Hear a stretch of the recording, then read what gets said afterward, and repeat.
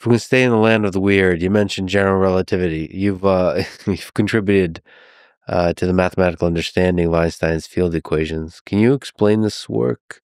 And uh, from a sort of mathematical standpoint, uh, w- what aspects of general relativity are intriguing to you, challenging to you? I have worked on some equations. There's something called the, the wave maps equation or the sigma field model, which is not quite the equation of space-time gravity itself, but of certain fields that might exist on top of space-time. Um, so Einstein's equation of relativity just describes space and time itself. Um, but then there's other fields that live on top of that. Uh, there's the elect- electromagnetic field. Um, there's uh, things called Yang-Mills fields, and there's this whole hierarchy of different equations, of which Einstein is considered one of the most nonlinear and difficult. But relatively low on the hierarchy was this thing called the wave maps equation.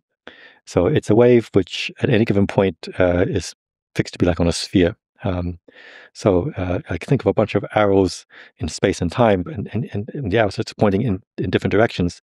Um, but they propagate like waves. If, if, if you wiggle an arrow, it, was, it will propagate and, and make all the arrows move kind of like uh, sheaves of wheat in a wheat field.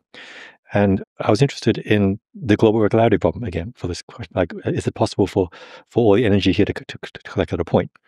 So the equation I considered was actually what's called a critical equation, where it's actually the behavior at all scales is roughly the same.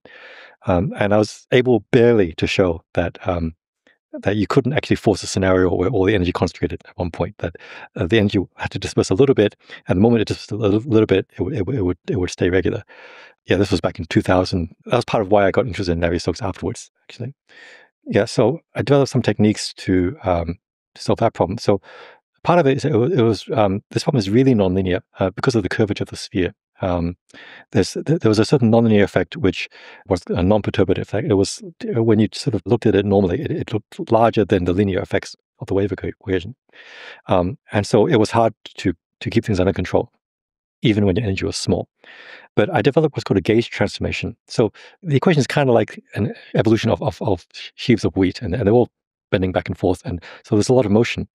Um, but like if you imagine like stabilizing the flow by attaching little cameras at different points in space, which are trying to move in a way that captures most of the motion.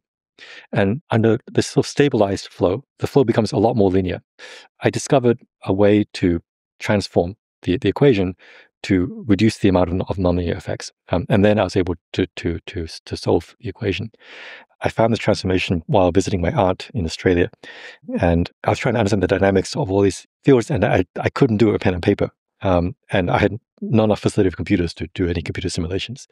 So I ended up closing my eyes, being on, on the floor, and just imagining myself to actually be this vector field and rolling around to try to, to see how to change coordinates in such a way that somehow things in all directions would behave in a reasonably linear fashion. And uh, yeah, my aunt walked in on, on, me while I was doing that, and she was asking, "What are that? What am I doing doing this?" It's uh, complicated. Is the yeah, answer. yeah, and you know, she said, "Okay, fine. You know, you're a young man. I don't ask questions."